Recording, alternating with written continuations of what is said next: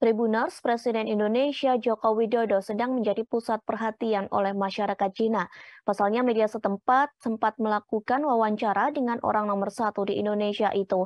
Kemudian wawancara ini tersiar di negara yang memiliki penduduk terbanyak di dunia. Wawancara itu tayang perdana pada Jumat 14 Oktober 2022 silam.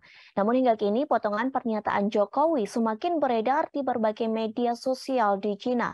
Beberapa pemilik akun media sosial memotong wawancara itu menjadi beberapa bagian.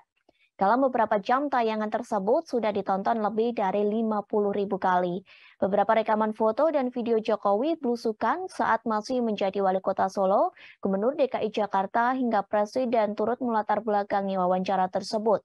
Dalam wawancara itu terdapat pernyataan Jokowi mengenai harapannya terkait penyelenggaraan Kongres Nasional ke-20 Partai Komunis Cina di Beijing. Kemudian Jokowi berharap agar kongres tersebut berjalan dengan baik dan menghasilkan sesuatu untuk rakyat Cina. Jokowi juga angkat bicara mengenai rencana Presiden Cina Xi Jinping meninjau langsung proyek kereta cepat Jakarta-Bandung.